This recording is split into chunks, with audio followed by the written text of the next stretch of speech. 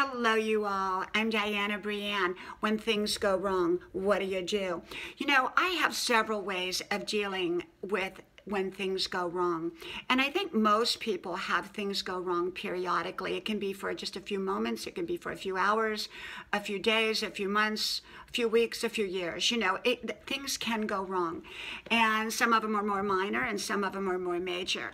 And so when things go wrong, what do we do? Well, first of all, I try to step back. I try to assess the situation. What's really going on here? What created this problem? Was it something I did? Was it some somebody around me? Or was it an event that just took place out of the blue without anybody doing anything really to create it? And, you know, there can be many reasons why events take place, why things things happen, why problems occur. And so I think the key to it is to assess what's going on, then to assess the damage, then to uh, assess what do I do now. And often we can't come up with a quick fix or a quick problem. So sometimes we have to surround ourselves with the best of minds, people who are smarter than us, especially in the area of that problem or those problems.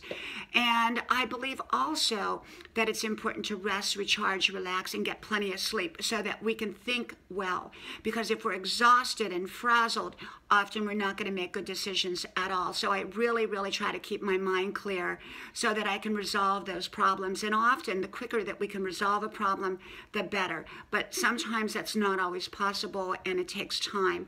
And yet, we also need to surround ourselves with a support system. At least that's what I do. I surround myself with people that will listen to me, that may not even have an answer or even an idea how to solve the problem, but they can just listen. And sometimes we just need someone to listen to us. And that can be a huge blessing, a huge help. And just keep seeking information, ask questions. I'm always about asking questions, especially if I encounter a problem. But I ask questions at people who are competent at answering them. I don't ask people who are not competent in that area that I need an answer in. Because if we ask the wrong person a question and they give us a wrong answer, we may likely act on that. So I try to get my information from the right sources.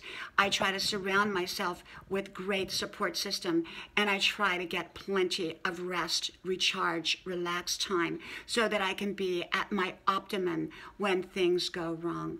From my house to yours, I hope you subscribe to my page and I'll talk to you soon.